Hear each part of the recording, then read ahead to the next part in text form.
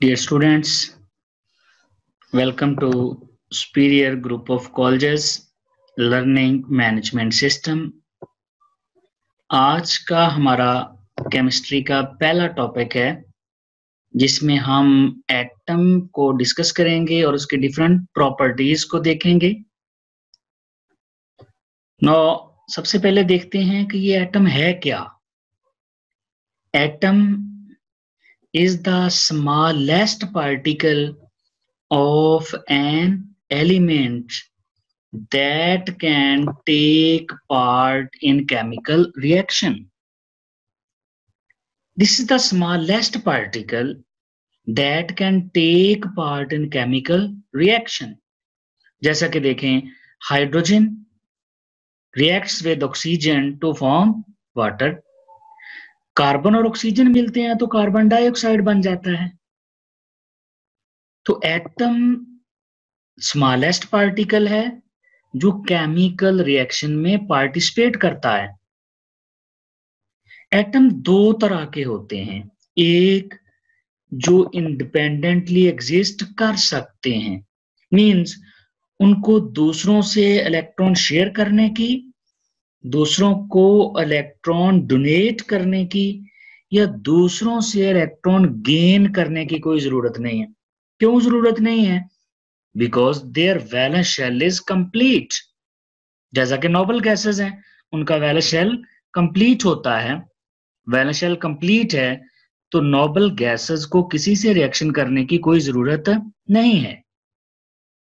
दूसरी हमारे पास टाइप है वो एटम जो इंडिपेंडेंटली एग्जिस्ट नहीं कर सकते।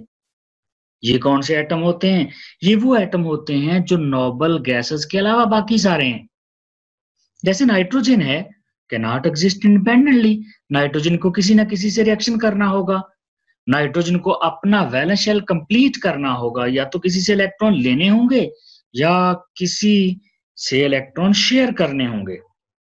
तो हमारे पास दो तरह के एटम हो गए जो इंडिपेंडेंटली एग्जिस्ट कर सकते हैं और जो इंडिपेंडेंटली एग्जिस्ट नहीं कर सकते। Dear students atom smallest particle है। अब हम देखते हैं कि एटम कितना स्मॉलेस्ट हो सकता है। उसका साइज़ उसका डायमीटर उसका मैस कितना हो सकता है। डियर स्टूडेंट्स एटम इतना छोटा होता है कि हम उसको नेकड आई से ऑब्ज़र्व नहीं कर सकते। हम नेकड आई से उसको नहीं देख सकते। नंबर टू हम इसको ऑप्टिकल माइक्रोस्कोप से भी नहीं देख सकते। एटम बहुत स्मॉल होता है ऑप्टिकल माइक्रोस्कोप तो 500 नैनोमीटर या ऐसे ऊपर वाली चीज़ों को दिखाती है। एटम का साइज़ तो बहुत स्मॉल है। 500 नैनोमीटर या इससे अबव दिखाती है। ऑप्टिकल माइक्रोस्कोप 500 नैनोमीटर या ऐसे ऊपर ऊपर दिखाती है। लेकिन एटम का साइज़ तो बहुत छोटा है। तो फिर कितना छोटा है? इतना छोटा है कि एक फुल स्टॉप में टू मिलियन एटम आ जाते हैं, टू मिलियन बीस लाख। एक फुल स्टॉप में बीस लाख एटम आ जाते हैं। एटम का साइज़ इतना छोटा होता है स्मॉलेस्ट पार्टिकल एटम का अगर हम डायमीटर देखें, उसका साइज़ देखें तो वो सिर्फ़ पॉइंट टू नैनोमीटर है। बहुत छोटा है। पॉइंट टू नैनोमीटर एक नैनोमीटर बराबर होता है ten raise to minus nine meters के। अगर हम एटम के मैस की बात करें तो हमारे पास तो ऐसा कोई बैलेंस ही नहीं है जिससे हम एटम का मैस निकाल सके। हमारे पास ऐसा कोई बैलेंस नहीं है। क्यों? क्योंकि एटम का साइज़ बहुत छोटा है। इसका मैस बहुत कम है। कितना कम है इसका mass ten raise to minus twenty seven से ten raise to minus twenty five kilogram की रेंज में आता है। तो फिर हम मैस कैसे निकालते हैं? फिर हम मैस उसका कार्बन ट्वेल्व से कंपेयर करके निकालते हैं। कैसे? इंशाल्लाह हम अपने आने वाले लेक्चर्स में देखेंगे। ना हम नेकड आई से देख सकते हैं, ना ऑप्टिकल माइक्रोस्कोप से देख सकते हैं। तो फिर एविडेंस क्या है? कि एटम एग्जिस्ट करता है? एटम है? इसके लिए हम यूज़ करते हैं इलेक्ट्रॉन माइक्रोस्कोप इलेक्ट्रॉन माइक्रोस्कोप में एटम को ऑब्ज़र्व किया जा सकता है। इलेक्ट्रॉन माइक्रोस्कोप जैसे स्कैनिंग इलेक्ट्रॉन माइक्रोस्कोप है, जैसे ट्रांसमिशन इलेक्ट्रॉन माइक्रोस्कोप है। इलेक्ट्रॉन माइक्रोस्कोप में जब ग्रेफाइट को देखा गया ग्रेफाइट क्या है? ग्रेफाइट कार्बन की एलोट्रॉपिक फॉर्म है। जब ग्रेफाइट का एक पीस इलेक्ट्रॉन माइक्रोस्कोप में रखा और फिर उसको 15 मिलियन टाइम्स मैग्नीफाई करके देखा, बड़ा करके देखा then we see layers of atoms these are the layers of graphite atoms तो हम इलेक्ट्रॉन माइक्रोस्कोप में इलेक्ट्रॉन को ऑब्ज़र्व कर सकते हैं। क्यों? क्योंकि हम इलेक्ट्रॉन माइक्रोस्कोप में जो सोर्स यूज़ करते हैं, वो बीम ऑफ़ इलेक्ट्रॉन है। बीम ऑफ़ इलेक्ट्रॉन है, जिसकी वजह से ऑब्ज़र्व हो जाता है क्योंकि उनकी अपनी वेवलेंथ इंतहाई शॉर्टर होती है। डियर स्टूडेंट्स एटम के बारे में ग्रीक फिलासफर का आइडिया ग्रीक फिलासफर का क्या ख्याल था कि मैटर को डिकम्पोज किया जा सकता है? मैटर मैटर क्या है? Matter anything which has mass and occupies space which has mass and occupies space is called matter matter को ब्रेक किया जा सकता है। ग्रीक फिलासफर कहते हैं ग्रीक फिलासफर कहते हैं कि मैटर को ब्रेक कर सकते हैं। याद रखिएगा ग्रीक फिलासफर का सारा काम थ्रेटिकल था। प्रैक्टिकल बेस नहीं था, सारा थ्रेटिकल था। तो उन्होंने कहा मैटर को तो आप ब्रेक कर सकते हैं बार बार ब्रेक कर सकते हैं, लेकिन अल्टीमेटली आप एक ऐसी स्टेट पर पहुँच जाएँगे, एक ऐसी स्टेज आ जाएगी जिसको फर्दर ब्रेक नहीं किया जा सकता।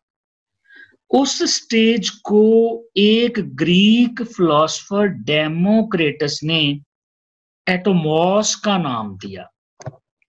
अब एटोमोस लास्ट स्टेज है मैटर ब्रेक करते जाए मैटर आप बार बार ब्रेक कर सकते हैं। कब तक? जब तक कि आप एक एटोमोस तक नहीं पहुँच जाते। अब डेमोक्रेटस ने एटोमोस ही क्यों कहा? उस स्टेट को जो फर्दर ब्रेक नहीं हो सकती। क्योंकि डेमोक्रेटस ग्रीक था, और ग्रीक में एटोमॉस का मतलब होता है इनडिविजिबल जो फर्दर डिवाइड ना हो सके। जो फर्दर ना टूट सके। बाद में जो एटोमॉस है, उसी से ही वर्ड एटम बन गया। आजकल हम उसको एटम कहते हैं। ये वर्ड एटोमॉस से है, जो कि ग्रीक है डेमोक्रेटस ने यूज़ किया, जिसका मतलब होता है इनडिविजिबल नेक्स्ट है, जो एटम है, उसके अंदर पार्टिकल्स कितने हैं? एटम में मोर देन हंड्रेड पार्टिकल्स हैं। एटम में मोर देन हंड्रेड पार्टिकल्स मौजूद हैं जिनमें से तीन पार्टिकल्स इलेक्ट्रॉन प्रोटॉन और न्यूट्रॉन इनको फंडामेंटल पार्टिकल्स कहते हैं। Are called fundamental particles because they make up most of the mass of an atom. Dear students ये जो प्रोटॉन और न्यूट्रॉन है फंडामेंटल पार्टिकल्स में से, ये होते हैं न्यूक्लियस में। जैसा कि आप रेड कलर में देख सकते हैं प्रोटॉन और ग्रीन में न्यूट्रॉन प्रोटॉन और न्यूट्रॉन होते हैं न्यूक्लियस में, जबकि इलेक्ट्रॉन रिवॉल्व कर रहे होते हैं उसके ऑर्बिट्स में। तो एटम में भी मोर देन हंड्रेड पार्टिकल्स मौजूद हैं। नेक्स्ट एटम को फर्दर डिस्क्राइब करने के लिए जॉन डॉल्टन ने एटॉमिक थ्योरी दी। जॉन डॉल्टन एक इंग्लिश केमिस्ट था। उसने एटॉमिक थ्योरी प्रोपोज की। एटॉमिक थ्योरी क्या है?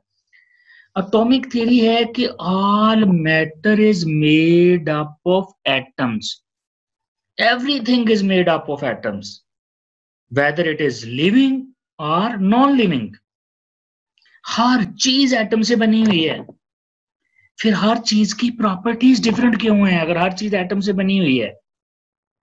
क्योंकि एटम डिफरेंट एलिमेंट्स के होते हैं। All matter is made up of atoms of different elements that different properties जैसे देखें वाटर है तो उसमें हाइड्रोजन और ऑक्सीजन है।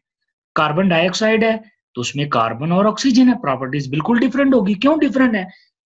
बिकॉज़ एटम्स आर डिफरेंट तो all matter is made up of atoms of different elements which differ in properties ये Dalton की एटॉमिक थ्योरी का बेसिक पॉस्टुलेट है। डियर स्टूडेंट्स ये शॉर्ट क्वेश्चन भी आ चुका है पास्ट पेपर में। कि what is the basic postulate of Dalton's atomic theory? Dear students देखें, हमारे पास एक ऑक्सीजन का एटम है और दो हाइड्रोजन के एटम है। ये मिलते हैं तो एक वाटर का मॉलिक्यूल बनता है। ऑक्सीजन के एक एटम का मैच कितना है? 16 AMU हाइड्रोजन के दो एटम का मैच कितना है?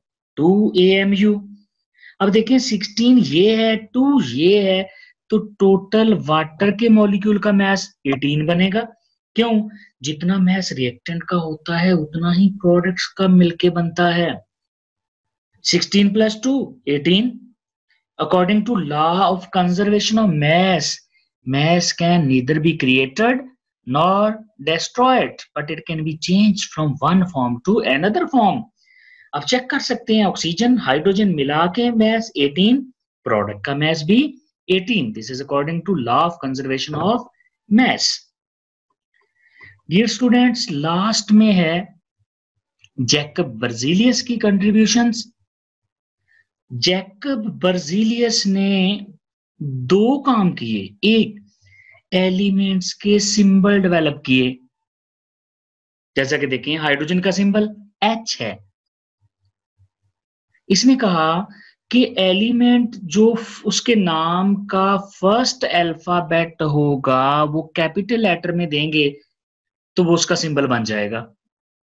लेकिन अगर कोई दो एलिमेंट, तीन एलिमेंट एक जैसे अल्फ़ाबेट से शुरू हो रहे हैं, जैसे हाइड्रोजन हीलियम दोनों हाइड्रोजन से शुरू हो रहे हैं तो फिर उसने कहा कि आप दूसरे वाला लेटर भी यूज़ कर सकते हैं अल्फ़ाबेट यूज़ कर सकते हैं। जैसे हाइड्रोजन को एच से और हीलियम को एच ई से लिखते हैं। नाइट्रोजन एन नियोन भी एन से है तो हम क्या करेंगे? दूसरे वाला अल्फ़ाबेट यूज़ कर लेंगे। नाइट्रोजन का एन बड़ा है, नियोन का भी एन बड़ा है, लेकिन ई e छोटा है स्मॉलर लेटर्स में है। तो ये सिंबल दिए। इसने इस तरह सिंबल्स का एक सिस्टम डेवलप करके केमिस्ट्री को बहुत आसान बना दिया। क्योंकि अगर आप इससे पहले वाले सिंबल चेक करें, जो कि जॉन डाल्टन ने दिए, ये बहुत मुश्किल थे। आप हाइड्रोजन का सिंबल देखें, आप कार्बन का सिंबल देख लें, ऑक्सीजन देखें, इसके साथ साथ आप मरकरी का सिंबल देखें, गोल्ड का देखें इसी तरह ना सिर्फ़ एलिमेंट्स के बल्कि कंपाउंड्स के भी सिंबल्स थे। तो अब तो बिलियंस कंपाउंड बन चुके हैं। अगर डाल्टन वाले एलिमेंट्स के सिंबल यूज़ करें तो हम इतने ज़्यादा सिंबल एलिमेंट्स के और कंपाउंड्स के याद ही नहीं रख सकते थे। और फिर जब फॉर एग्जांपल एक लाख, दो लाख, तीन लाख कंपाउंड बन जाते तो नेक्स्ट तो सिंबल देना ही इंतहाई कॉम्प्लिकेटेड हो जाता अगर डार्टन को फॉलो करते, मुख्तलिफ़ किस्म की शेप्स बनाते। तो बेर्जिलियस ने ये काम बहुत आसान कर दिया। दूसरा कंट्रीब्यूशन ब्रजीलियस ने एटॉमिक मैसेज दिए एलिमेंट्स के which are very close to the modern values इसने मेथड कौन सा यूज़ किया था? इसने वेपर डेंसिटी मेथड है, वो यूज़ किया था। आजकल तो लेटेस्ट इंस्ट्रूमेंट है मशीन आई हुई हैं, जो हमें एटम की करेक्टरिस्टिक्स बता देती हैं। तो डियर स्टूडेंट्स ये जो जैकब बर्जीलियस की कॉन्ट्रीब्यूशन हैं, ये पास्ट पेपर में एमसीक्यूज में आई हुई हैं। दो दफ़ा। एक दफ़ा आया कि who gave symbols of atoms किसने एटम के सिंबल दिए? और दूसरी दफ़ा आया हुआ है कि जैकब बर्जिलियस की कंट्रीब्यूशन के बारे में एमसीक्यू है।